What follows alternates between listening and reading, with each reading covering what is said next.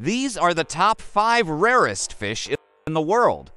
And the last one is so rare that only 1% of people have ever seen it. Comment which one you think you have seen before. But first, you will have incredible luck if you like and subscribe to my channel until this video ends.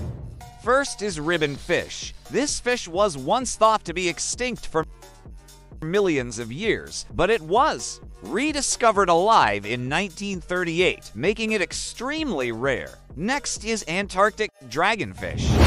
This fish survives in the freezing black waters of Antarctica, but it also produces its own glowing light to hunt prey in total darkness.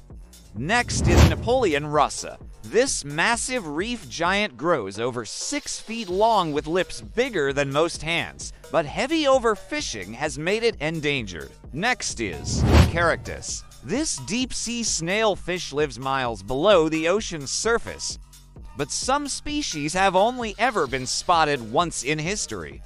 Next is zebra handfish. This fish doesn't swim like normal fish, but it uses its fins to walk along the sea floor, making it one of the rarest fish alive.